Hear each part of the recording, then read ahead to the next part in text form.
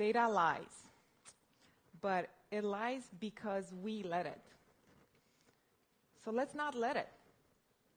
Let's ask the right questions. So, what do I mean by that?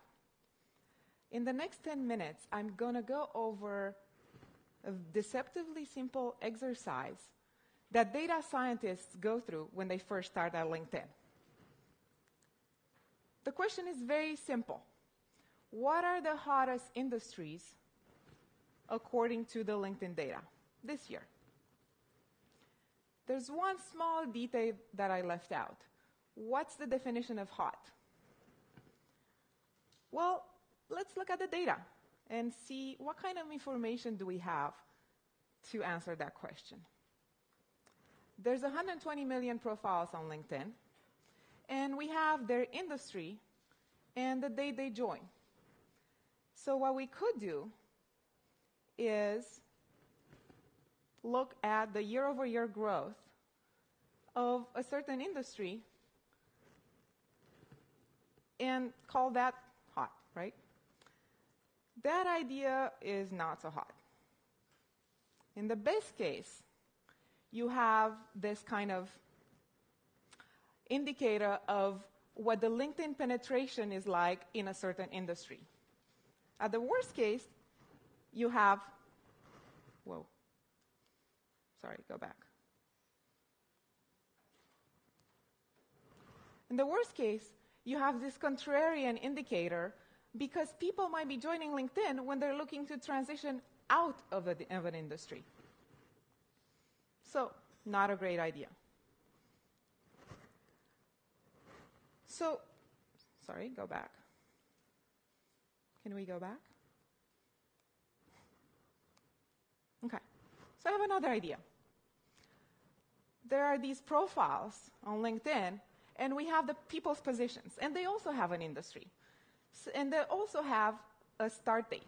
So what we could do is look at the year over year growth of job starters in that area. Okay, so we're doing that, changing the definition. There's one small problem. We didn't account for external factors. We didn't account for promotions and for churn. What we need to do is look at the net inflow and subtract the people who are going out of an industry from people who are coming into an industry. Okay. So another external factor that you need to take into account is seasonality. If you're doing this in the summer, you're a summer intern starting at LinkedIn as a data scientist team, and you see that there's a lot fewer teachers and a lot more accountant and a lot more summer interns, right? So what we want to do is compare the right time period with the right time period last year. Another external factor size matters. Because if it didn't, it would look like the dairy industry and the metal and mining industry are the hottest industries on LinkedIn. And that's because they're small industries on LinkedIn, and it's much easier to grow off of a small base. So this has got to be it, right? We have taken into account seasonality, we took a look at the net inflow, and we thresholded the industry, right? Except there's one more thing. We assume the data is clean. And it never is, right? For example, on LinkedIn, there's all of these fake accounts that we've closed, but they're still there in the database. So if you don't take them out, you have this army of Darth Vaders boosting up the defense and space industry. Not so great, right? Or, for example, you might have some um, skewed distribution in your data. Uh, it might make sense to include people who have 200 positions on their LinkedIn profile, or it might make sense to threshold those people out. We have to put the data under a microscope and check for every flag and category and date and decide what it means. So we've done that. We did all the right things, asked the right questions, so we're ready to look at year-over-year industry growth. It looks something like this.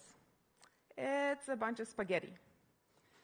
It's a spaghetti chart that a spaghetti chart that kind of reflects the overall economic conditions, the overall econo economic uh, decline or booming, and this is not very useful.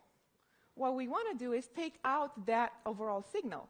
And the way we do that is by normalizing or scaling your data. In this example, what we can do is take a look at the number of job starters in a given year and use that as your denominator. Use that to divide by. Okay. This has got to be it, right? This is the definition. We took into account the seasonality, we normalized, we look at the net inflow, we took out the noise, and we thresholded it. It's got to be good, right? Well, yeah, we're getting somewhere.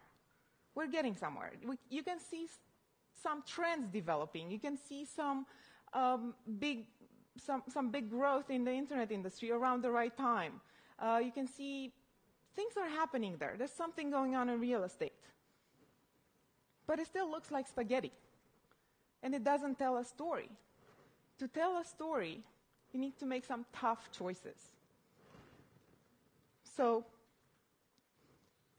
what you need to do is focus on one or two or maybe three things that you want to tell, that you want to focus on, and clear everything out. So now this is more like it, right? If, if an industry is above that line, that zero line, it means it's growing. So you can see the internet industry taking off in 1994, and then a big boom in the internet industry in 2000, and then the corresponding bust real estate growing steadily over the years, then whoa, taking off and then sinking. Same thing happening with financial services. And remember, this is all from aggregate data on LinkedIn. Isn't that amazing that you can see this information from the data that people contributed? This is the kind of story that gets people excited about the insights in the LinkedIn data. So let's have some fun with it. Let's use the same methodology to look at the growth of analytics and data scientist in this, in, uh, data scientist jobs over the years.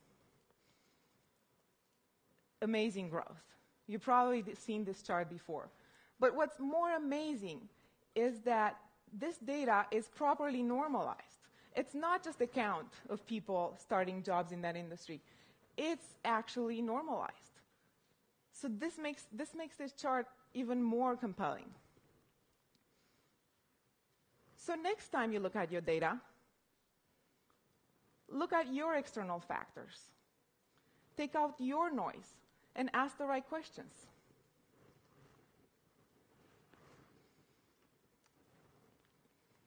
That's it.